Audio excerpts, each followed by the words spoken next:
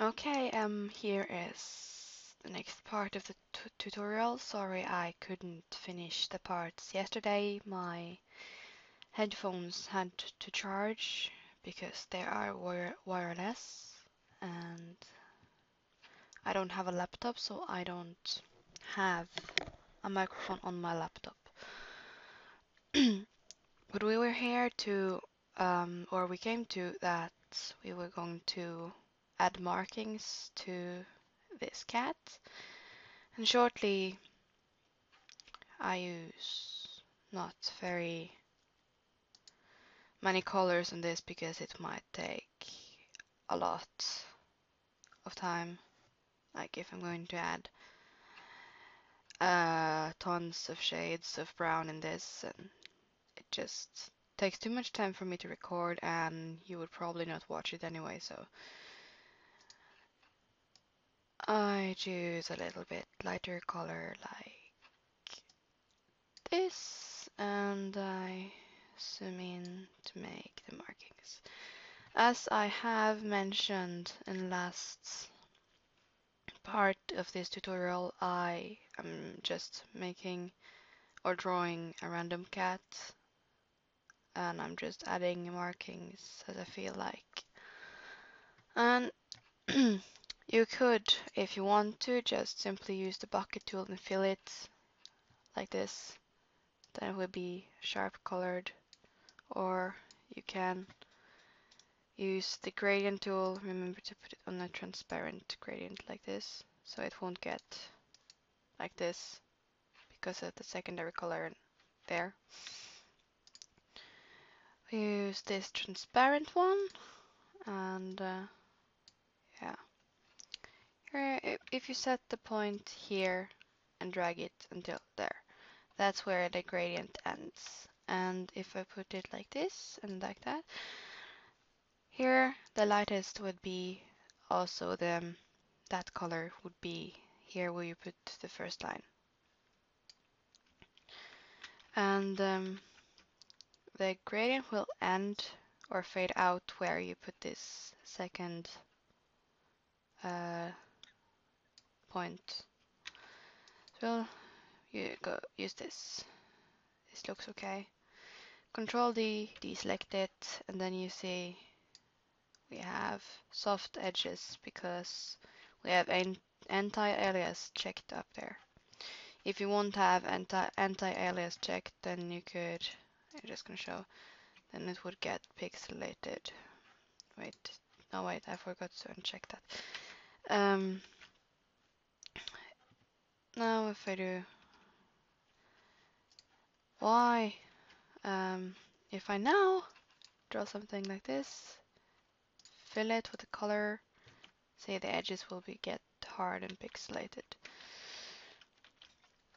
Um, to soft if you want to soften these edges a lot more you can use the blur tool. I have the strength at 100% because if I have it like on 50 eh, when you get Photoshop it would be standing on 50 or be put to 50 and then you have to blur a lot on the same places to make it as smooth as you want if you want to make it really smooth or you can use the smudge tool on a small size because there is small hairs around in the face here to make it look like fur. But I'm not gonna do that because that takes forever and uh, more markings to this. I'll have some markings here. I select I select big areas um, in parts like for an example here then it's easier to select it in parts if you have if you're using a mouse if you're using a, ta a tablet, then it's kinda, then it might be easier if you have a steady hand.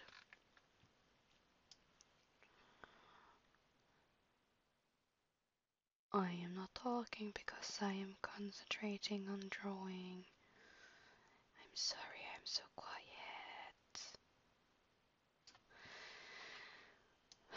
Um, so these markings are just completely simple. And now I forgot to check the anti-alias. I am such a dumb person. Why can't I?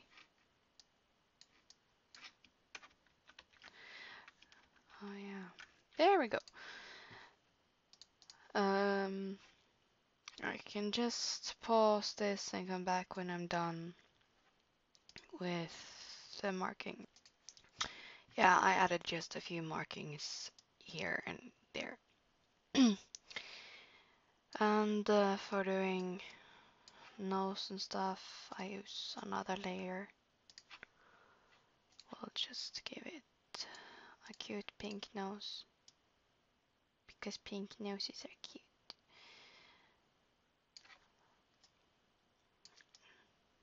And uh, for the ear and stuff, I use gradient tool there too.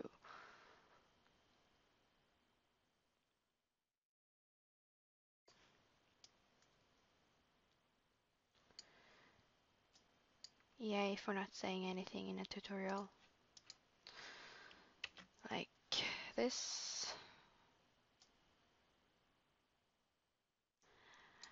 Okay, now we're done with markings and stuff and doing eyes. I have my own style for that and I'm not going to use it in this tutorial because I don't want people to copy it and uh, yeah. So I'll just do a simple eye style, very simple one.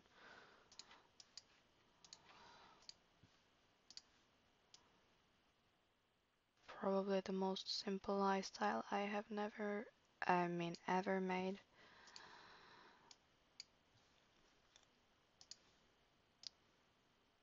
That moment when you mess up your English during a tutorial.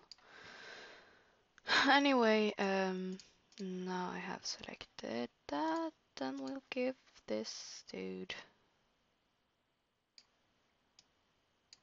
green eyes because that is pretty.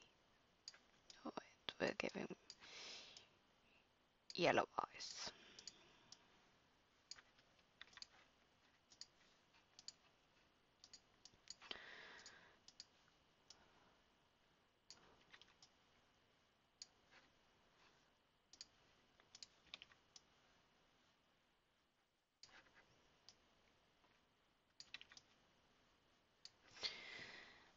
extremely simple eye style.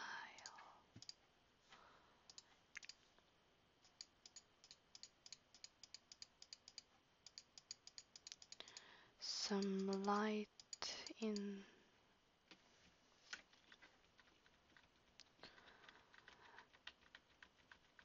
Screw this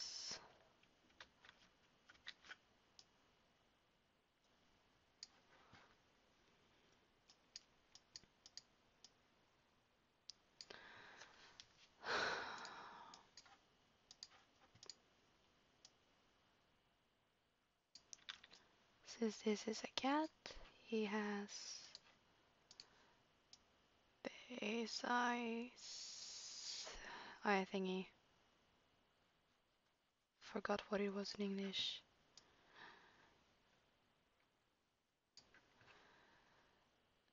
And uh, now we go to this white dot here. Because it is a wet surface, surface it has, it is kinda,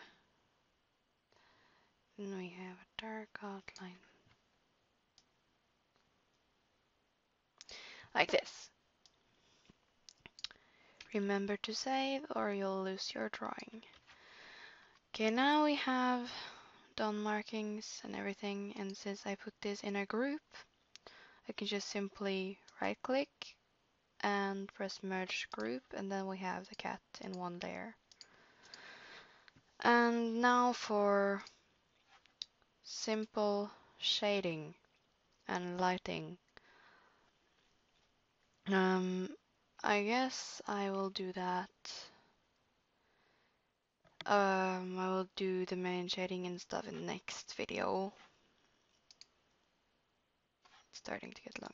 Okay, for small explanation, when I used to shade, or what I used to do while I shade, is that I do the background before I shade, because then I can decide where the light is coming from or I just look at the eyes where those white dots here are.